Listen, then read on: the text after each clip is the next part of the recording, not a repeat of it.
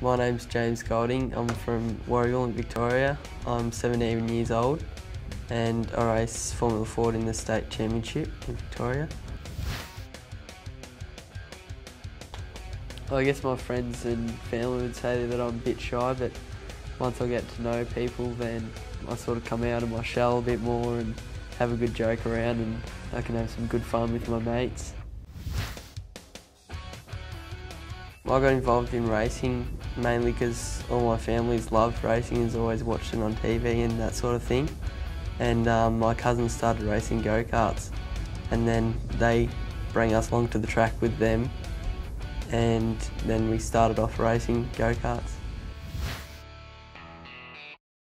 Yeah, sort of about three years after I started, my whole family was racing. My sister, dad and mum were all racing sort of in a period of six months. And then my mum stopped and then later on my dad stopped. And then about two years after, my sister stopped and I've been the one that's kept going with it. At the end of last year, I travelled to Portugal for the World Championships. So that last year, I did championship in Australia, which worked up in the top three, get to go to World Championships, and I placed seventh. So it was a really awesome part of my career.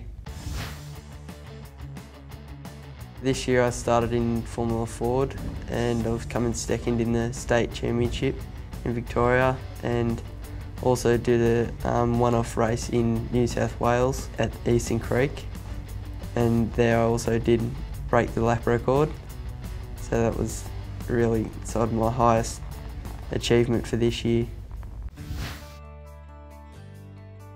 In motorsport, I sort of just want to get as far as I can.